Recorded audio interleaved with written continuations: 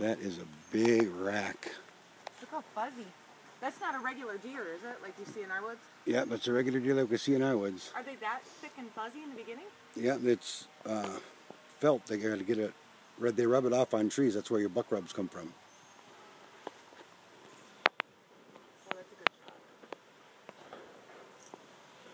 That is just awesome looking.